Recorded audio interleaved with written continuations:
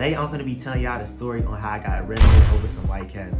Y'all already going to the comment that White Castle not even that good to get arrested over. Like, chill, bro. It's, it's gonna make sense once you hear the story. So let me set the scene. This goes back to April of this year. It was a Friday. It was me, A-Dot, and Shiki were over my homie Jemiah crib. That's like one of my closest girlfriends. I knew her since we was in preschool. Like we grew up together. That's my dog. You know what I'm saying? And if, if you watch the videos, you already know A-Dot. You already know Shiki. So you know we all over there. We watching the Suns game because that Dot love the Suns. Otherwise, I wouldn't have been wa watching that. They was playing late, so by the time we get to the end of the game, it's like 11:30. Even before we went to Jemiah crib, me and A dot was planning to go to the gym right after. So you know, I text my OG because you know I'm still under her roof. I was I'm 18, but I'm still like I still respect my mom. Like, I'm not just gonna go nowhere mad late. So I text. I was like, Can I go to the gym with A dot? And she hit me back. She was like nah, it's kind of late. I need you back by 12. And at this point, it's like 11.30. I'm like, dang, I wanted to go to the gym. I'm kind of blue. And I was like, I'm gonna still go after the game over type shit. So we just sitting there, we watching the game, you know. Then to get to about 11.45, the game actually finished. A-Dot went home to change to go to the gym. And like soon after he left, me and Shiki was about to leave, and you know, Jemiah about to stay. It's, about, it's her crib. And as I'm going out, you know, we was talking about we was hungry, but I'm like, dang, I don't even got time for no eats, you know what I'm saying? We was talking about food. This is where the story take a turn. This is in no way her fault, you know what I'm saying? I'm not trying to put blame on nobody, but let me say, as me and Shiki getting ready to go out the door, Jemiah, she was like, she was like, nah, I'm trying to get some food. You know, we was like, uh, nah, it's too late, I don't got no time. Then, you know, she say, if you take me to get food, I'll pay for your food. See, the thing, that changed the whole shit up, because you got to understand, I'm first of all, I'm in college. I'm a business major. I'm always put the business first. I'm always put the money first. You know what I'm saying? After God, of course, God, family. But here's where it gets a little tricky. At this point, it's about 11:50. My OG told me be home at 12. We do the calculations. Jemiah crib about three, four minutes away from my crib, and White Castle is about seven minutes in the opposite direction from her crib. So it was about I would have to drive seven minutes there, probably five minutes to get the food. That's 12 minutes. Then drive like 10 minutes back. So it's like 20 minutes. It's, it's basically a 20 minute trip, but it's at 11.50. So I have to make that 20 minute trip in 10 minutes to get back home. So logically, it don't make sense. Like that's impossible. How I'm gonna cut the trip time in half. But the money and the hunger cloud of my judgment, I'm like, shit, we could do it. That means we gotta go. We just gotta go a little fast. You know what I'm saying? So I'm like, all right, come on, y'all, come on, y'all. We don't got time to play. We all hop in the car. Jemiah in the passenger, Sheik in the back seat. I'm driving. You know, I'm going. But so I had to put on that BabyTron because you know when that BabyTron get in my uh, especially in the car, I'm we, pushing that hell. So let me set the scene. You know what I'm saying? We about uh call it five minutes into the drive, so we getting pretty close. Literally, we was on the street. White Castle's at the end of the street. We was going kind of up a hill, and then you go down the hill, and then you go down the hill, and then at the end of that hill, White Castle's there. I'm trying to I'm trying to make some imagery for y'all. That's that's the vocab term of the day, folks. Imagery. So White Castle here. As we going up, you know what I'm saying? I gotta give Shiki's credit. He right next to me. He was like, he was like, I no, I'm, I'm gonna keep it a sec. At this point, I'm I'm pushing it a little bit. Like the speed limit here, I'm you know what I'm saying? I'm pushing it a little bit. Shiki tell me he was like, he was like, yo, motion, watch out. You know, it be 12 be sitting on this street. Like, I'm like, look at the time, nigga. How, how am I get home before 12? Bro, I don't got time for that. So, you know, as we going up, I'm going even faster because I can't see what's in front of me. So we get to the top of the hill. We come down. As soon, nigga, as I'm talking about, as soon as I get to the hill, all I see is, I fly past, but I see a cop car sitting right there. I'm, damn.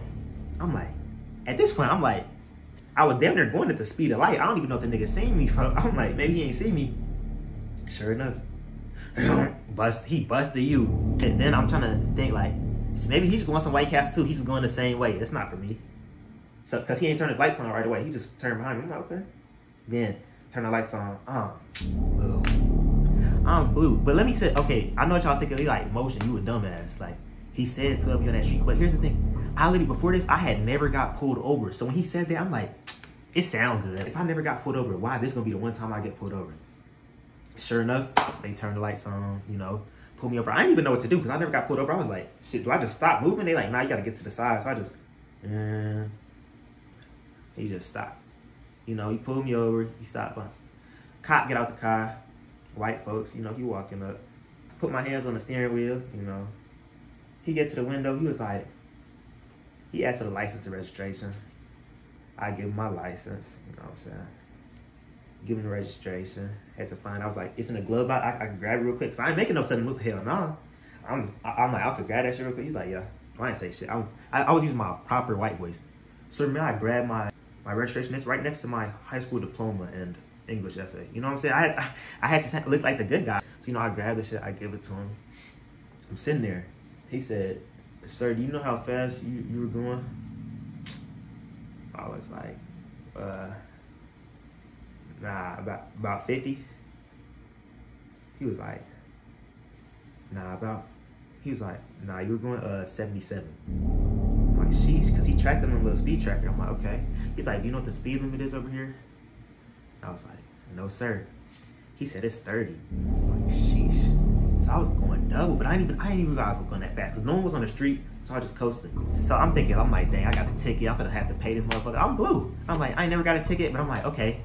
I learned my lesson, you know what I'm saying? Go ahead, give me the ticket. I'm pay the ticket, get in a little trouble. But now I learned my lesson. I'm, I'm done speeding. And they're gonna tell me, can you step out of the vehicle, sir? Okay. I'm like, okay. He asked me to step out, you know what I'm saying? I'm assuming I've watched, you know, Scared Straight. I'm thinking, okay, want me to get out. I'm gonna stand there. He gonna give me a stern talking to about like, you know, all the shit's going on in the world, how I can't be doing this shit. I'm like, okay, that's cool, you know what I'm saying? Just just a little scare tactic. He trying to he trying to make sure I don't speed again. I'm like, okay. I get out the car. Then I'm expecting him to like, you know, get into his speech. He looking at me, he like, he turn around, please.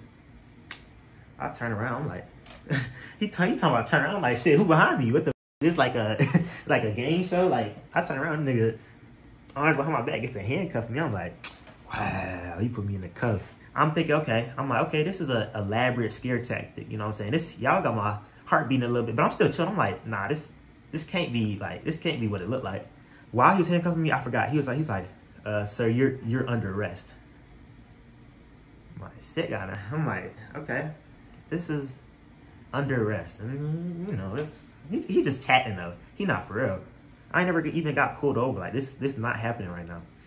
Walking to the car, he sit me in the car. First of all, the seat's hard as hell. Like you know, a regular car, they got cushions on the seat. They make that bitch hard on purpose. Of course, it's like the cage in front of me. I'm like, dang, and I'm like, at this point, I'm like, okay, the joke's gone on long enough. Like, nigga, you could, you could let me go, folks. Like, I, I learned my lesson. I'm not gonna speed no more. So then I asked him, I was like, I was like, I could call my mom real quick. Cause this is at this point he done held me up. It's past twelve. I gotta tell her. I'm like, I can call my mom real quick. Let her know I'm straight. He was like, you can call when we get to the station. Um, what? Like what station? I'm thinking this nigga playing with the radio or some shit, like trying to get get on 93.9, like get to the right station. He trying to find some tunes for background music while I'm getting yelled at. But now this nigga talking about the police station. He get in the car. I'm like, I gotta take my friends home. And, and, like get the car. Like, what about what about my friends? The car? They just gonna leave. He was, he was like, oh, uh, they on the way. They finna tow your car and somebody coming to pick up your friends. Um, shit. I'm like, nah, this nigga dead ass. Then we start pulling off. I'm seeing, I'm seeing Jemiah Shiki on the outside just looking at me like, they on the phone. They they trying to call people and shit. I'm like, wow, this is not real, folks. So you know, they take me to the station. I get to the station. He take me out the car.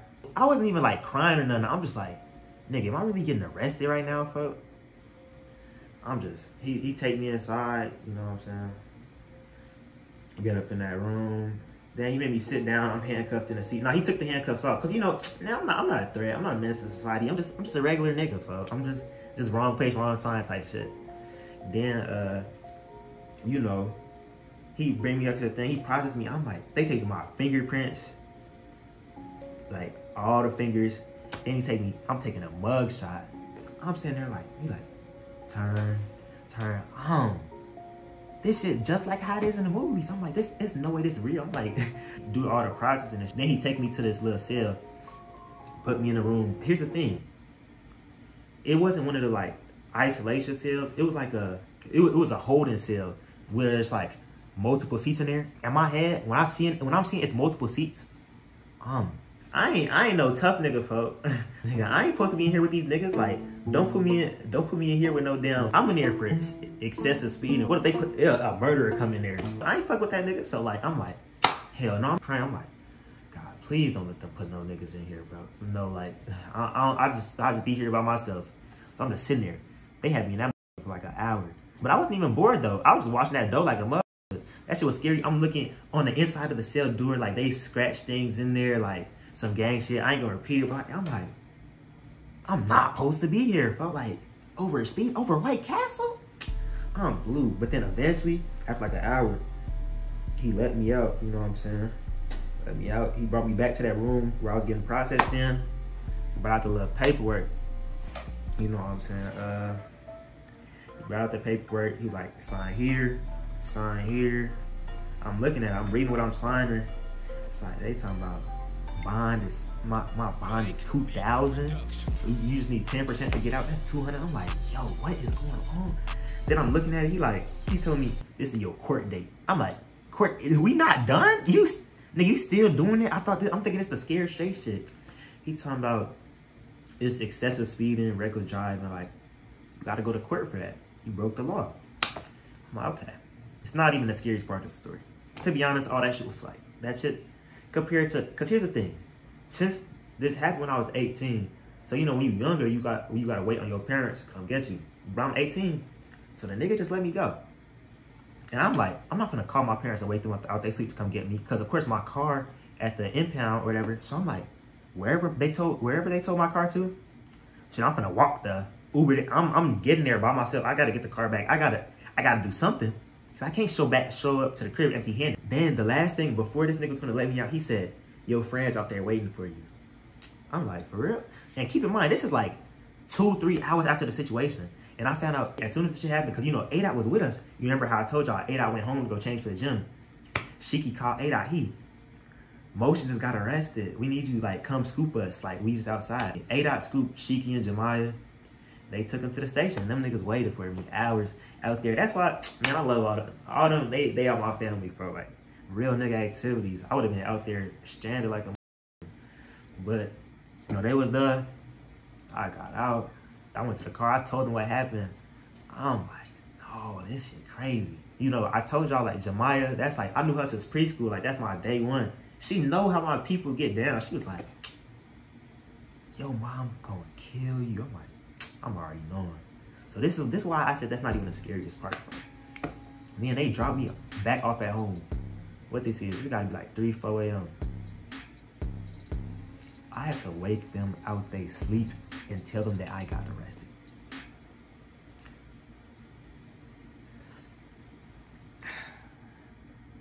Nigga, if I wake them out their sleep for anything, they was gonna be mad. You know, parents don't like getting woken up out their sleep. I woke them up. I was like, I tried to ease into it. Like, I got arrested. My mom woke up first. She came. We was talking about it. She's like, arrested. She at first like, do they even arrest people for speeding? Like, it didn't make sense to me either. But I'm like, shit, I wasn't wrong. And you know, she got on my ass. Then she's like gotta go, gotta go tell your dad. She went back to the room, woke up my dad. As I'm standing there just getting yelled at, getting degraded, called like everything in the book, you know what I'm saying? But I'm like, I deserve this. I'm fully in the wrong. Like I can't be I can't be mad at nobody but myself, you know what I'm saying? This one's on me. You know what I'm saying? Uh but yeah, after I got yelled at, uh went to sleep. You know. You know, I told the people around me what was going on. I had a shorty at the time. I told her, I'm like. I was like, cause we supposed to we supposed to hang out the next day. I'm like, shit. I don't think I'm gonna make it to hang out tomorrow. I don't think I can come get you. She's like, wow. I was like, I don't got my car. She's like, wow. I got arrested. you know, you know how that goes. But uh, yeah, you know what I'm saying. Telling everybody. Next thing you know, boom. We fast forward a few months. You know, well, I had to get a lawyer because I was going to court and shit. I went to court. It went good. They just gave me. I got I got probation for a year. You know what I'm saying. This is just a very valuable learning lesson. I just learned that listen to your parents, kids. If I would have just went home like my OG had told me to, this would have never happened. Two, just because something don't happen to you, don't mean it can't happen. Like, niggas aren't talking about getting pulled over. I had never got pulled over. I had been driving for mad long. I ain't like, I used to speed and shit too. I'm done with that shit now, but like, I used to speed and shit, and I never got pulled over. I'm like, that shit not real. That shit just in the movies. And I think it could happen to me. That shit happened to me, folks.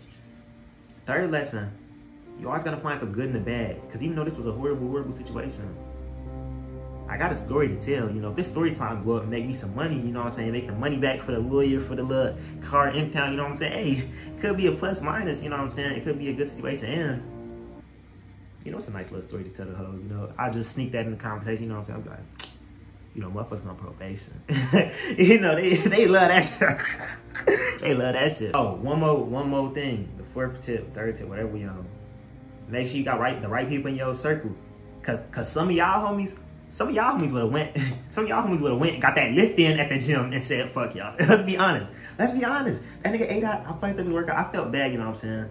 But he came in, he came through. Jemiah, Shiki, A-Dot. They all waited for me, sitting outside, because they worried about their homie. So watch you in your circle. Make sure get you a A-Dot, a Shiki, and a Jemiah. I ain't did a story time before on the channel. Let me know if y'all with them. I got some more stories to tell. I done I done had some crazy shit happen to me, bro. I just yeah. Let me know what y'all want. Alright, we out.